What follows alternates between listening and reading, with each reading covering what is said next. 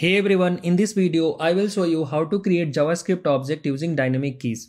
So in JavaScript we can create an object with dynamic keys using a square bracket.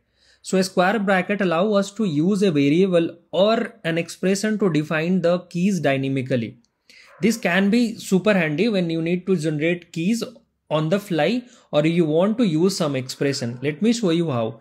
Consider we have a ID id variable which we are getting it from some API and we want to attach the value object to this id. To do that what we can do we can use id within square bracket and then we put a colon and we'll provide value.